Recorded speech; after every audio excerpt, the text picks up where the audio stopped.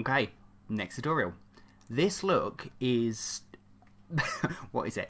Um, basically, I, as it's like Pride Month week type thing over the world at the moment, and everywhere's having gay pride and stuff like that. I thought it might be fun to do my little version of Pride. I guess well, that's what it started off being. It was going to be like a rainbow look, and then I was going to do something which involved blending colours and yeah and it turned out like this as most of my makeups do it's turned out like an evil demon type thing but yeah just because it's come out this evil looking thing doesn't mean I'm obviously against pride well obviously not but you know what I mean.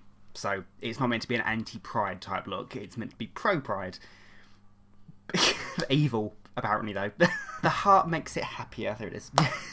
But yeah ultimately I wanted to do something that I knew. I knew there'd be a hint of darkness in there obviously I didn't mean want this much darkness, but it, it works. But I wanted the ultimate theme to be pride, obviously, and just love and pride and against hatred, that kind of a thing. It was actually I got a request a while ago as well, and I wanted to integrate this um, from is it Meg Garfield? I put your name there, your YouTube name there. Um, yeah, they requested a rainbow look a long time ago, so I thought I would honour it and put my own spin on it, and yeah, so this is my Pride Rainbow Demon scary, pretty heart thing. I hope you guys enjoy it. If you want to see how to recreate this look, stay tuned. So the first thing I'm going to do is block out my eyebrows and apply a latex bald cap um, because I'm going to try and go for this whole streamlined kind of look so I don't want any seams or any bumps or anything. So uh, I'll do that and get back to you. I'll pop a couple of links here and here to tutorials I've done in the past teaching you guys how to block out your brows and apply a bald cap just so I can save some time up in this video. And yes, so I'm going to do that and we'll go from there. So there we are, so that's my eyebrows all blocked out, covered with wax, and my um, bald cap is applied. I'm just going to let my latex edge dry, because I've gone around the edge of my cap with latex just so I can blend in seamlessly. Um, so while it's drying, I can just quickly talk to you about the um, what I'm going to be doing on the majority of the face. So I'm going to be using a lot, a lot, a lot of Snazaroo watercolours. Um, so just, I love Snazaroo so much. Um, so the idea is I'll mention, I'll do, a majority of this video is going to be time-lapsed because there's not real, there's no real method to this because what I'm going to do is, aside from la lathering up the brush so that the consistency is nice and creamy and it isn't runny. Because the last thing we want is this colour to run. So when I use it as if it's a cream. Um, but yeah, I'm going to literally do stripes of rainbow colours, starting at the back here, going all the way down, stopping to about there on my neck. Um, so that's pretty self-explanatory. So I'm just going to keep painting the stripes on. It doesn't have to be too neat because after I've done that, I'm going to go into more fine detailing with some black colours and dark purples, that kind of thing, just so we can make it look a bit more sporadic. But I'm going to make this up as I go along. So I have an idea in mind though. But yeah, so I'm going to start colouring these stripes, and I'm going to start down the middle because then I'll know it'll be an easier way for me to gauge on how far I need to go out and how far I need to space these colours. And I'm going by a regular rainbow colour spectrum, so I know what colours to use and where. And yeah, so try to make the colours, although similar, like like when you're using orange, like using an orange and a darker orange, try to make them fairly different. Otherwise, it will just look like a gradient. And I'm not going to go for the gradient look. I want there to be a distinct change in colour. But yeah, so I'll start colouring in and we'll go from there.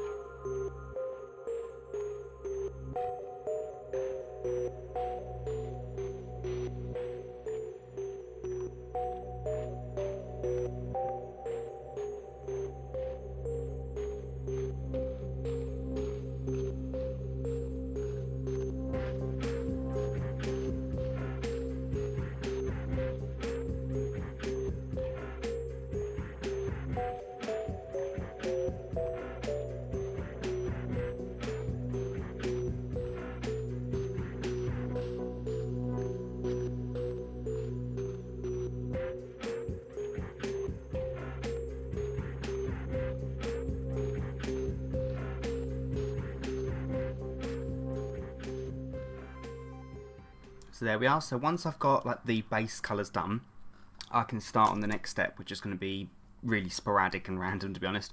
Um, I've not done my eyes as you can see because I'm going to be colouring that in last with a different colour and it's just easier not to have a base there so the colours won't mix.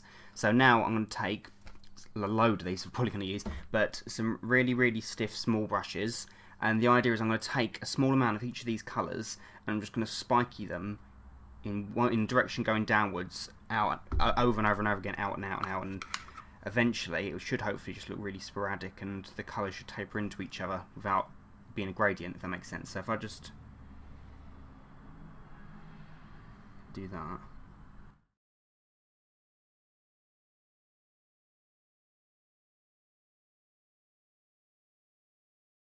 So loads and loads of ra random jagged shapes spiraling off because the other colour is going to taper into that as well. And yeah, I mean it'll make more sense when I do the eyes and I do the neck because I'm going to have that spike, the, the black spiking upwards and outwards. So yeah, so I'm going to do that on every colour and we'll go from there.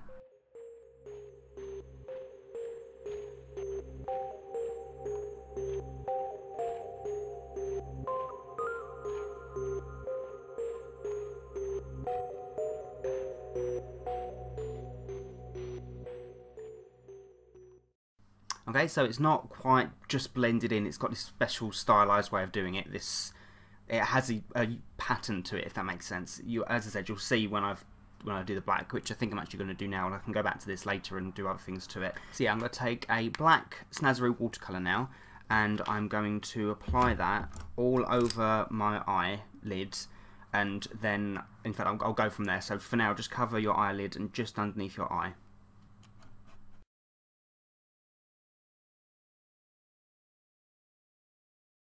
So this next part really doesn't have to be neat and I'm using a, a medium eyeshadow brush to apply this. So what I've done is, so you apply the colour and you sweep it outwards. This is what I'm going to do now. So load up the brush and then just pull the colour downwards and upwards obviously when you get to the top.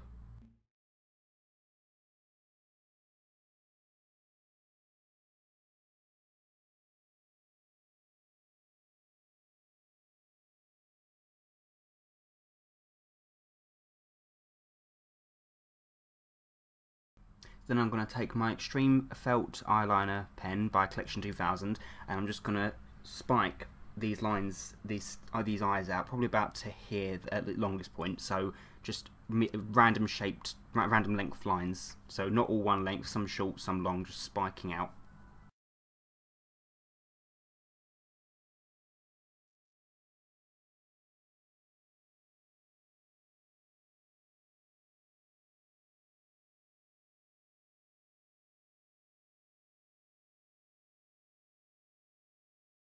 So there we are.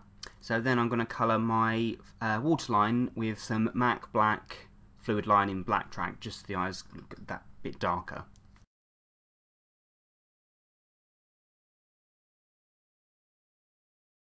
Then I'm just going to body paint the entire half of my body here with black Snazaroo watercolour and I'm going to spike it up, but I'll do that after obviously I've just done the bulk area here.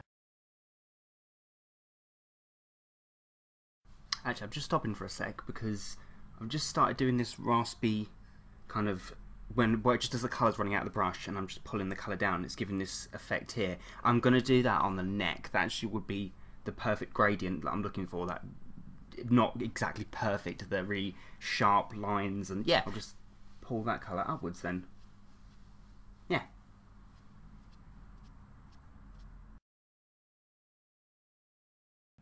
I just cleaned off a patch here because I just thought it might be quite sweet to have a little rainbow heart drawn in the same way as this just here. So I'm just going to, I won't show you guys how to do it I'm just going to trace it on with the felt eyeliner pen in a really rough, sharp way, so not rounded. And uh, I'm going to colour it in the same way that I did this face really.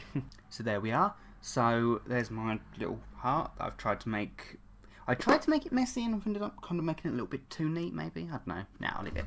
Um, so you could finish the look here, I guess, but I'm going to put my black sclera contact lenses in because this was originally meant to be a happy rainbow type look, but everything I do ends up looking evil. And I, so I might as well put black sclera lenses in now just to make the eyes even darker and so look like that. Why not? so there we are with my black sclera lenses in. This is how I look. Um, oh, quick side note: these are from eyesbright.com. Um, they're called what are they called? saber tooth, I believe. These lenses, the black sclera lenses. Um, yeah, I'll pop a link in the description bar below if you guys want to check them out.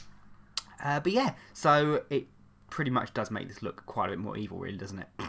well, it kind of looks like the pride and happiness is peeking through, and I suppose the black could be hate, that kind of thing. So you kind of, yeah. So the, the general idea I went in with this was meant to be a bright, happy look with the black representing like a disease, like hatred, like trying to cover it up, but you can't, that kind of thing. And it's, I don't know if I've achieved that. It kind of just looks like an evil rainbow demon.